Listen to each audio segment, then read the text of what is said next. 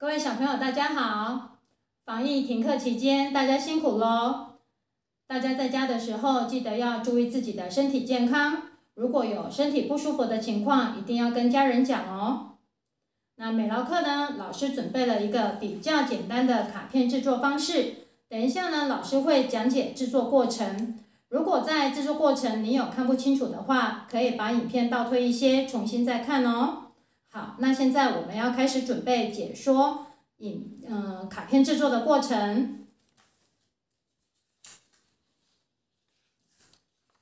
首先呢，我们先准备一张 A4 的白纸，我们先把它对折。那对折的时候呢，请你记得角对角把它对折好。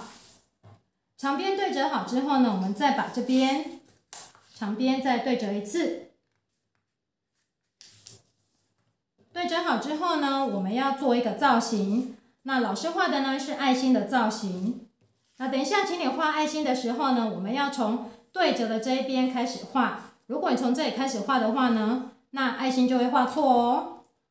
那画的时候呢，请你尽量画大一点。老师说过很多次，画大一点的话呢，比较好去作画。那你画爱心的时候要特别注意，我们这边这边要突出去，有一个平平的地方。那等一下我们剪的时候呢，它才不会被我们剪成两个爱心。那老师就尽量把爱心画到最大。那你会觉得这边爱心平平的，好像很奇怪，但事实上并不会，因为等我们剪开之后呢，它才可以像这样子打开。那现在呢，老师剪一次给你们看哦。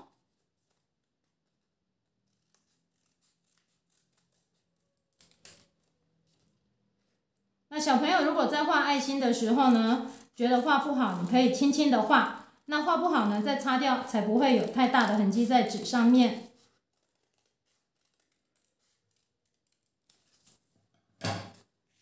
那我们剪好之后呢，打开爱心卡片就完成喽。接下来呢，你可以画在上面画。那因为我们母亲节快到了，那我们最近也正在做母亲节的东西。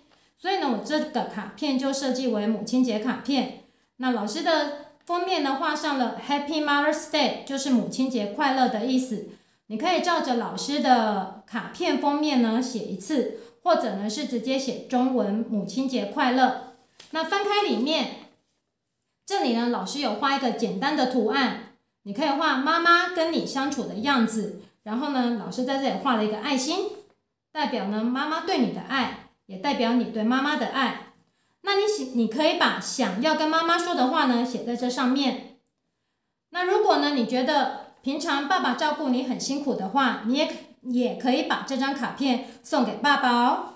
最后呢，如果你觉得背面没有什么东西很单调的话，那你可以画一个简单的图案。那像老师呢，就画了两颗微微的爱心，中间写上 love 爱的意思。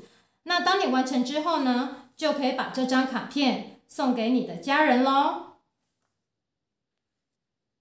那老师今天的讲解就到此结束，谢谢大家。